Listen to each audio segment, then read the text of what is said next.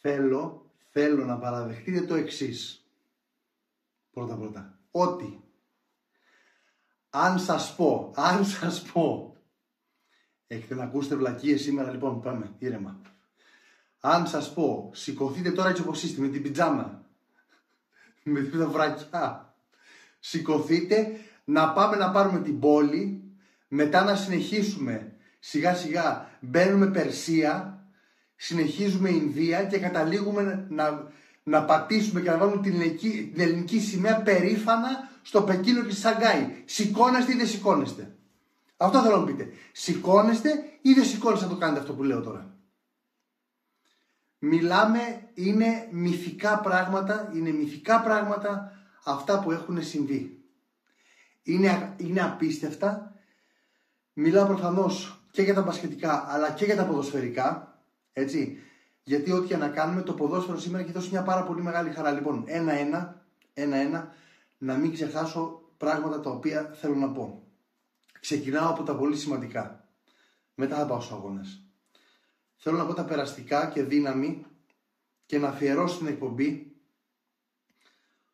στον φροντιστή του Παναθηναϊκού. Είδατε και τις φανέλες που φορούσανε. Πάρη κράτα γερά.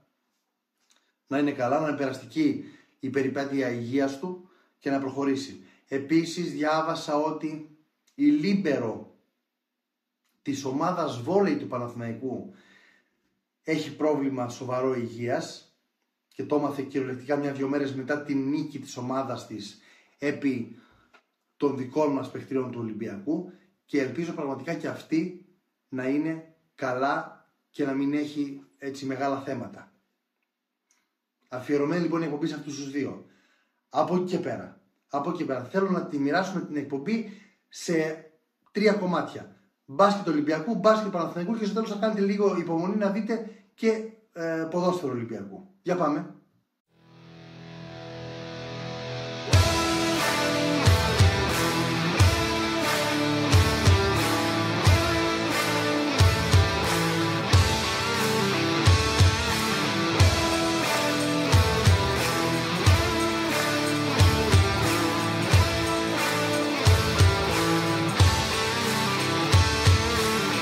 Λοιπόν, εδώ είμαστε. Μυρωδιάς Πυριάρας, Courtship Podcast.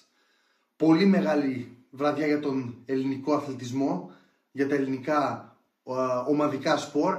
Πάμε με like, με subscribe, με κουδούνια, καμπάνες, θέλω, σας θέλω γερούς, σας θέλω έτσι όσο χαρούμενους μπορεί να το επιτρέπει η βραδιά, που είναι πολύ, και να ξεκινήσουμε με το εξής. Πάμε στον Ολυμπιακό μπασκετικό, τον, τον μπασκετικό Ολυμπιακό, Σαρδάμ, έχω να πω βλακίες πολλές σήμερα, ο οποίος ε, μπήκε και τους είπε, ξέρετε τι, ωραία, μας αδικήσατε, κανονικά σήμερα θα ήταν 3-1, αλλά πάμε να λύσουμε τις διαφορές μας στη Βαρκελόνη. Γιατί, αν μία ομάδα, μία ομάδα αξίζει να σπάσει την κατάρα των εκτός έδρας ομάδων στα πέμπτα μάτς, ξέρετε την ιστορία, 18-0 έχουν οι γηπεδούχοι αυτή η ομάδα, αυτός ο οργανισμός, αυτός ο προπονητής είναι ο Μπαρτζόκας και ο Ολυμπιακός του Μπαρτζόκα. Είναι ξεκάθαρο αυτό. Έτσι. Το ματ ήταν ουσιαστικά λιοντάρια χριστιανοί μετά την πρώτη περίοδο. Ε, πρέπει να έχει κάνει ο Ολυμπιακός ένα 17-0, ένα συνολικό 25-3, κάτι τέτοιο. Σε μία φάση έδωσε ένα τρίποντο μόνο Τζαμπάρι Πάρκερ στην ε, Μπαρσελόνα και όλο το άλλο ήταν ήτανε καταιγισμός, καταιγισμός άμυνας και επίθεσης από τον Ολυμπιακό.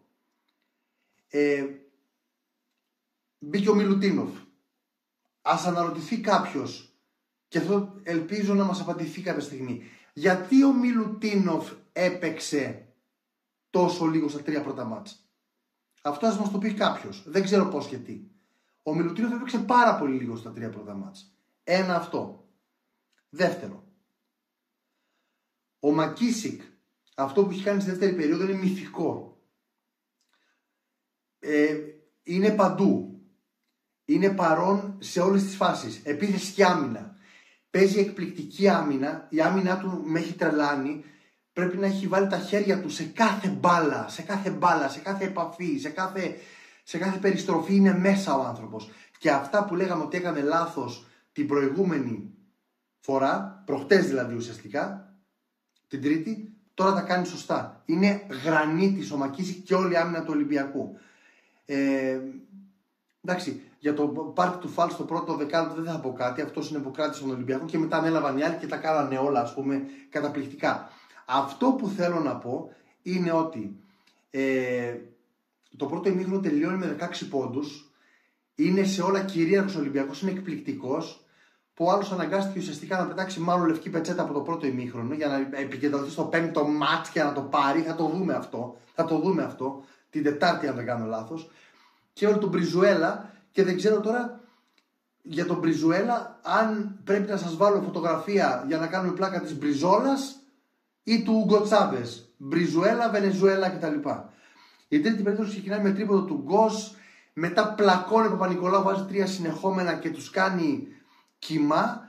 Και ουσιαστικά αυτή που είναι εντελώς εκτός κλίματος, η ψυχολογική προετοιμασία για το μάτς πρέπει να ξεκινήσει εκείνη την ώρα, σκέφτομαι μέσα μου και να βάλω στο μυαλό μου ε, να σας πω ότι η μεγάλη διαφορά που κέρδισε ο Ολυμπιακός ουσιαστικά δεν λέει τίποτα. Αυτοί το παρατήσαν το μάτς, ο Ολυμπιακός ήταν πολύ καλύτερος, προφανέστατα πολύ καλύτερος, έτσι. Και όλα αυτά, όλα αυτά ε, δεν θέλω να σας ενθουσιάζουν υπερβολικά, εκτός από το ότι δείξαν ότι ο Ολυμπιακός είναι η καλύτερη ομάδα, δεν θέλω να βάλουμε πάρα πολλά θαυμαστικά, ας βάλουμε μία τελεία και ας προχωρήσουμε από εκεί και πέρα. Έτσι. Γιατί είναι άλλο το πέμπτο μάτς, θα είναι άλλη η διαιτησία στο πέμπτο μάτς, τα ξέρουμε, τα έχουμε ξαναπεί. Λοιπόν, τελειώνει το μάτς με 92-58, κάτι τέτοιο, 30 τόσους πόντους. Ε, κλου του αγώνα προφανώς είναι ότι εμφανίστηκε ο, και ο, ο βλάκας Dylan Brooks από το NBA, ο αντιπαθέστατος Dylan Brooks, με κάτι γυαλιά, λες και είναι η Ροζίτα Σόκου, ξέρω εγώ, στον Άγιο Ευκαιρία ο άλλος. Υπέροχος. Λοιπόν, rebound κατά κράτος νικητής Ολυμπιακός. Assist λάθη κατά κράτος κλπ. Ε, έπαιξε ο Μιλουτίνο, δεν έπαιξε ο Ράιτ. Ναι, γιατί ο Ράιτ δεν είναι πολύ καλός αμυντικός. Το, το παιδί αυτό έχει βοηθήσει πολύ περισσότερο από ό,τι νομίζαμε. Έτσι. Δεν μου λέει κάτι. Είναι πολύ, πολύ καλύτερος παίκτης ο Μιλουτίνοφ και πρέπει να παίζει ο Μιλουτίνοφ. Όπως και να το κάνουμε. Λοιπόν, το πιο βασικό απ' όλα. Έχει δύο νίκες Ολυμπιακός με μαλλιά τζαμπάρι Πάρκερ Αφάνα. Έχει δύο νίκες η Μπαρτσελώνα με μαλλιά τζαμπάρι Πάρκερ Ράστα. Όταν το δούμε πώς θα εμφανιστεί στο πέμπτο μάτς, τότε θα καταλάβουμε τι συμβαίνει. Είναι ξεκάθαρο. Θέμα δεύτερο. Πόσο δεν τους χάλασε που πήγαν να μου το κάνουν και φιέστα στο κεκλεισμένο των θυρών οι Μακαμπέοι. Πόσο δεν τους χάλασε. Α, άσχετο. Έχετε πάρει χαμπάρι, εσείς οι διάφοροι που μου λέγατε να ζητήσω συγγνώμη, ελάχιστοι, okay, ότι έχω πιάσει, αν εξαιρέσουμε τις αηδίες που κάνουν οι διαιτητές, έχω πιάσει και Ολυμπιακό 3-1 και Παναθηναϊκό 3-1, έτσι. Άμα θέλουμε να το δούμε κανονικά όπως είναι. Αλλά δεν πειράζει, έχουμε και πέμπτα ματς. Να κάνουμε παρέα την επόμενη εβδομάδα. Λοιπόν, έπαιξε ο Μπόλντουιν ελάχιστα γιατί μετά χτύπησε πάλι, ε, ε, έπαθε κάποια υποτροπή, δεν ξέρω τι. Τώρα να πω για Ναν, να πω για Ναν, να πω για τον καλύτερο παίκτη στην Ευρώπη. Ποιος τον αμφισβητεί τον Ναν; Ήταν εκτός ο Ναν, λέει στα πρώτα ματς. Ναι, ισχύει, ωραία. Όλοι έχουν κακές μέρες στη δουλειά. Ποιος Ναν τώρα, ποιος Ναν; Αυτός που γίνεται σεισμός 12 ρίχτερ και έχει την, την ψυχραιμία να κοιτάξει γύρω του, ξέρω εγώ. Αυτός ο Ναν. Ο απόλυτα ψύχραιμος, ο παιχταράς που πήρε την μπάλα επ' ώμου και λέει: Εγώ θα την βάλω καλά τώρα, ρε, όπως ξέρω.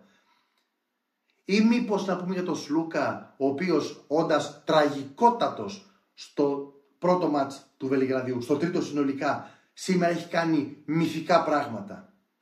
Ή να πούμε για τον Λεσόρ, ο οποίος παλεύει μόνος του, ταλαιπωρείται, τον καρφώνουν στα μούτρα, χάνει βολές γιατί δεν έχει ανάσες, αλλά είναι εκεί, είναι εκεί.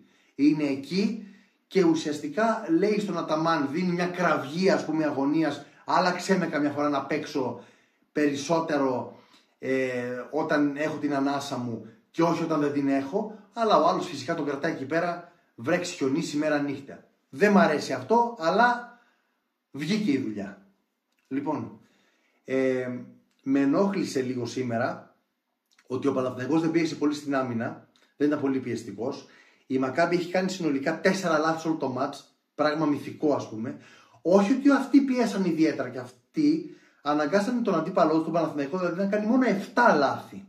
Πράγμα το οποίο είναι καλό ουσιαστικά για τον Παναθηναϊκό γιατί έχει επιθετικό ταλέντο, δεν είναι θέμα το επιθετικό ταλέντο του Παναθηναϊκού. Φυσικά δεν έχει πάρα, πάρα πολλές αυτόματες κινήσεις. Είναι νέα ομάδα. Ομάδα λίγων μηνών είναι νέα. Αλλά και πάλι, ξέρετε, ήταν λίγο το θέμα μυστήριο, ας το πούμε έτσι.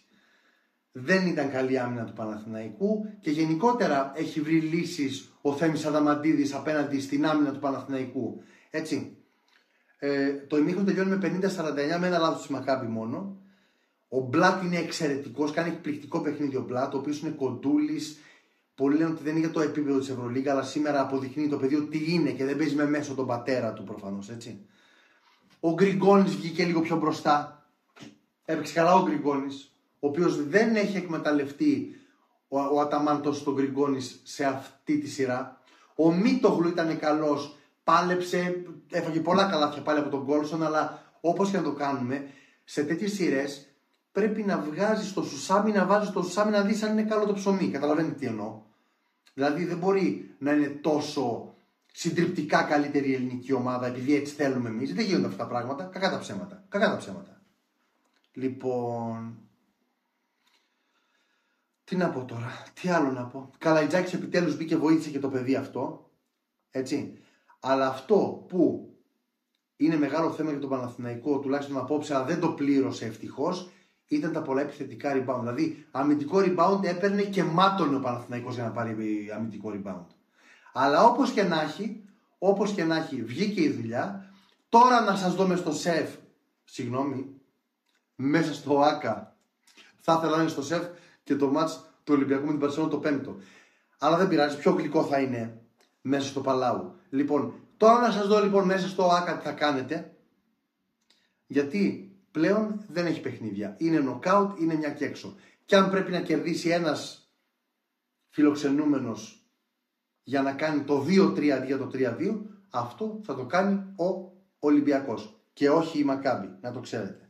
Λοιπόν, είχε λίγο και τύχη στο τέλος ο Παναθηναϊκός, τελευταίο λεπτό μπήκε, βγήκε η μπάλα στο τρίποντο του Μπλατ και μετά μπήκε και το γλυκάκι, το κερασάκι στην τούρτα με το άλεου που κάρφωσε ο Λεσόρα, αν δεν κάνω λάθος. Τι να πεις τώρα από εκεί και πέρα. Πολύ αγχωτική σειρά, πολύ μεγάλη σειρά, πολύ σπουδαία σειρά. Χάρηκα πολύ για τους Παναθηναϊκούς που κερδίσανε κυρίως και αυτόν τον το φροντιστή τους, ο οποίος είναι μια συμπαθής φιγούρα χρόνια ολόκληρα εκεί πίσω από τον πάγκο, με πετσέτες με νερά και μαγιά τους που κερδίσανε και γι' αυτόν ένα λόγο παραπάνω. Τρίτο μέρος, αν θέλετε να ακούσετε και ένα ποδοσφαιρικό καθίστε. Λοιπόν, πρώτον, στους ομίλους του Champions League, του Europa κλπ. έχουν γίνει διαιτητικά λάθη και έσχη και εγκλήματα. Στα νοκάουτ δύσκολα γίνονται. Είδατε τη διαιτησία, εσείς που είδατε το μάτς έστω και παράλληλα με του Παναθηναϊκού, είδατε μόνο το ποδόσφαιρο. Είδατε τη διαιτησία του Έρος Ραμαζότη του Ιταλού σήμερα. Πόσο υποδειγματική ήτανε. Για να λέμε τα σίκα σίκα και τη σκάφη σκάφη έτσι. Ο Ολυμπιακός πρέπει να έχει κάνει τη μεγαλύτερη νίκη στην ιστορία του. Κερδίζει εκτός έδρας σε ημιτελικό Ευρωπαϊκής Διοργάνωσης. Μην ακούσω conference κτλ. Ναι, δεν ήξερα να κερδίσει τη Manchester City 4-2. Κέρδισε μόνο την Aston Villa. Λοιπόν, Ήμαρτον. Με τον Έμερι. Που πάει να πει καλησπέρα στα αγγλικά και λέει good evening. Έχει μείνει στο μύθο Έμερι και τα εκπληκτικά του αγγλικά. Ο Φίλιππος Πετσάλνικος έχει κάνει μυθικά πράγματα από την ώρα που έχεις έρθει στον Ολυμπιακό και νομίζω ότι η στιγμή που αλλάζει όλη την πορεία είναι μετά την ήττα από τη Μακάμπη, την ποδοσφαιρική Μακάμπη και την τεράστια ανατροπή που κάνει στη Σερβία στο ουδέτερο της Τόπολα.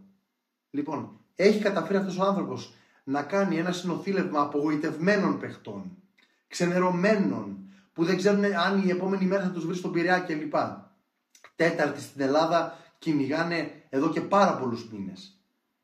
Και καταφέρνει με τον Ιμπόρα, ο οποίος σαν τον πυγμαλίο να δαδακαρίδει, ξέρω εγώ, καταφέρνει με το Φορτούνι, ο οποίος είναι πάντα μες στην αμφισβήτηση, ο τεράστιος παίκτης Φορτούνης, καταφέρνει με το παιδάκι το τζολάκι, ο οποίος μας έχει βρει ο, ο Μεντιλίμπαρ και τερματοφύλακα και τα επόμενα 10-15 χρόνια καλά να είναι το παιδί.